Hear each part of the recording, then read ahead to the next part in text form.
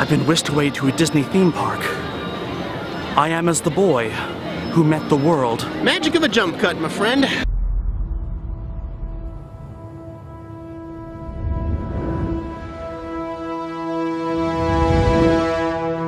Welcome aboard the Disneyland Monorail, the smoothest, safest, most energy efficient vehicle ever built.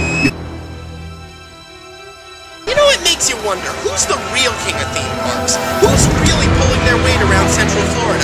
Wait, You can't ban me for life! I've got footage of me inside you! why indeed? Bloody pirates, always oh, plundering ideas.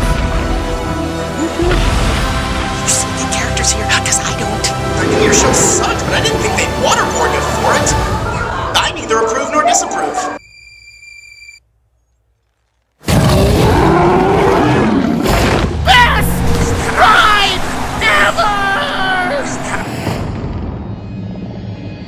lights dim, and are transported to another world. Film is his own little underworld. A complete immersion in. Turn your damn phone off. No, the candy needs crushing. Will you please stay on topic? This is on topic. The Disney Beast was way more effectively terrifying. I just have one question. Why is the new ride in 3D? Posthumously. So they named his corpse President for Life. How meaningful.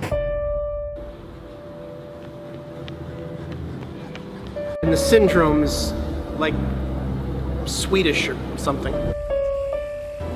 I know what this is. Then say it. Out loud. French archetypes did like this, right?